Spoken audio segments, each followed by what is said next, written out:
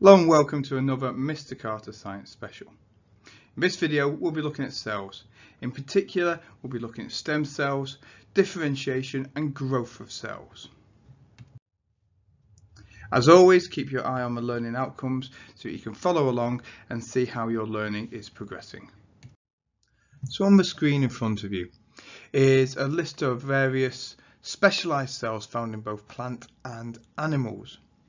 We have, for example, the palisade mesophyll and the spongy mesophyll, both found in plant leaves, which carry out photosynthesis.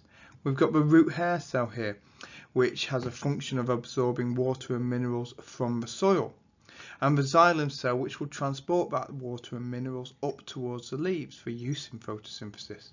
And we also have the phloem cell which will transport the products of photosynthesis, um, sugars like sucrose, both up to flowers for use in nectar and all the way down to the root cells so it can be utilised in respiration.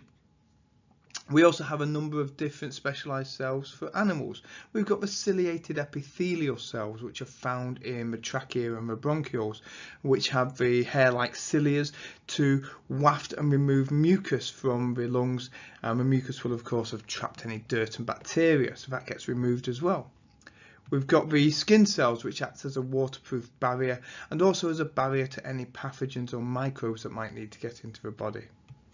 Nerve cells transmit electrical nerve impulses from the central nervous systems to the muscles um, to help stimulate and control movement. Red blood cells carry oxygen around the body so that it can get the oxygen can be utilized in respiration by the body's cells. Sperm cells and egg cells are utilized in reproduction and muscle cells will contract and relax and control movement. But how is it that an organism can be made out of all of these different specialised cells? Each of these specialised cells has got the same basic features. They'll have a cell membrane, a cytoplasm, and within that, a nucleus. And the nucleus will contain DNA and the DNA is a set of instructions of how the cell can carry out its functions. In fact, the DNA is really a set of instructions for how to make proteins and the different proteins made can, can um, will control the different functions of these cells. But how is it when every single cell in a multicellular organism has exactly the same DNA and therefore exactly the same genes, how is it we can have such a variety of specialised cells made? Well, to answer that question, we have to think about how a multicellular organism is created. And the first process of that creates this life is known as fertilization. And fertilization occurs when the nucleus of a sperm cell fuses with the nucleus of an egg cell all multicellular organisms begin life as a fer single fertilized cell called a zygote. This zygote will then divide by mitosis to form a small ball of cells called an embryo. All the cells in the embryo are clones of each other. They've all got exactly the same DNA and genes. So how is it that these identical embryonic cells become specialized cells? Well, before we can answer that question, we have to think a little bit more about the cells in the embryo. So here is our zygote divided by mitosis to form two cells and then four cells, eight cells, 16 cells, 32 cells, and eventually a ball of cells known as the embryo, each identical, each a clone. And the cells in this embryo are known as stem cells because they are unspecialized but they have the ability to develop into any specialized cell. There's around 216 different specialized cells in the human body that an embryonic stem cell could develop into. So how? How would these embryonic stem cells develop into these specialized cells? Well, that process is known as differentiation. Differentiation is the process of an unspecialized cell becoming specialized, and this will happen when different genes are switched on in different cells. And this will mean that different proteins are made and the different proteins control different chemical reactions. So the cell begins to have different adaptations and different functions. And so these specialized cells will continue to divide by mitosis and therefore increase in number and in size and this is known as growth and this is how an organism will grow. In animals, there are two types of stem cells that we need to consider. There's the embryonic stem cells that we've just discussed, and they can differentiate and form any one of the 216 different specialized cells that we have.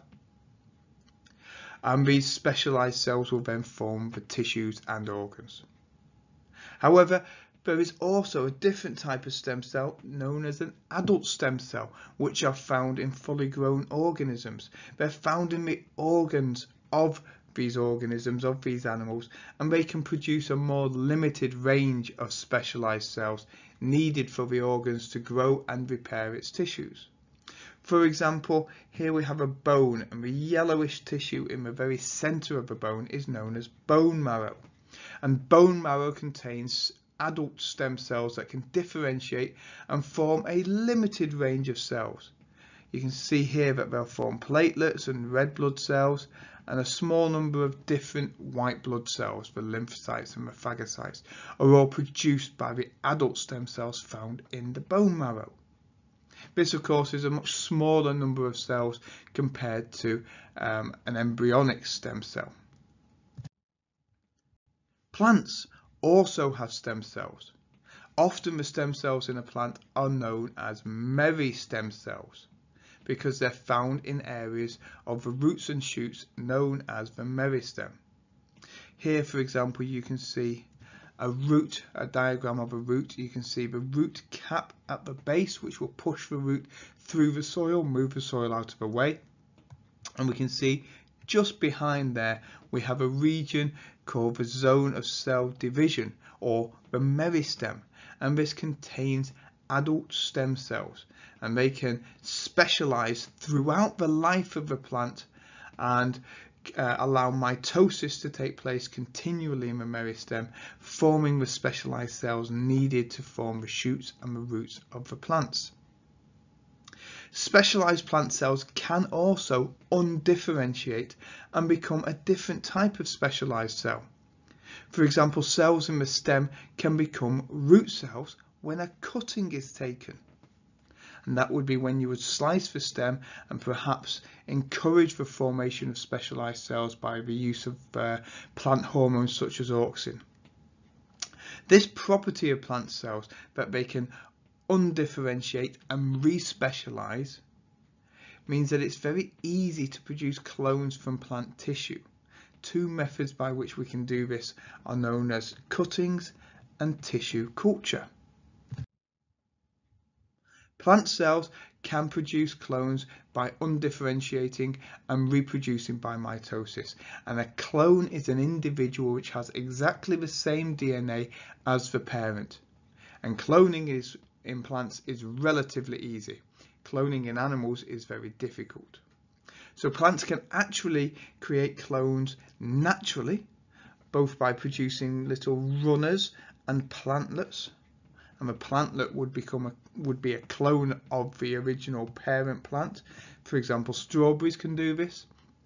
Potato plants can be cloned naturally by producing tubers underground and if the, um, the tuber gets broken, the stems that's holding the tuber together with the adult plant gets broken, that tuber or we know it as a potato can actually grow into a new plant but the new plant would have exactly the same DNA as the original parent plant it's a clone more recently in science, we've looked at a couple of different ways of creating artificially clones of plants. Cuttings, for example, as we've already discussed, where a gardener may take a, a section of a stem with some leaves and encourage rooting by use of plant hormones such as auxin. Is uh, a technique that's been around for thousands of years and produces clones. But also more recently we've got plant tissue culture where we use uh, a medium such as agar jelly that you can see down here.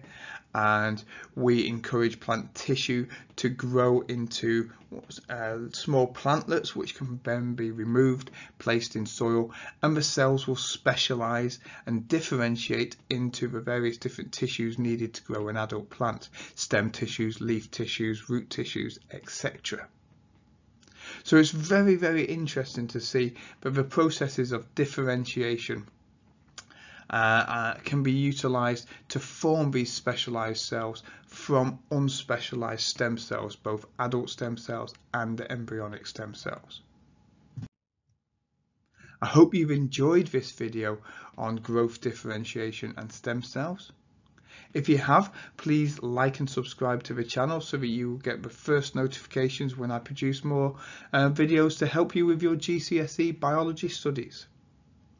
Thank you very much for your time. Don't forget to comment below and let me know what you've learned from this video.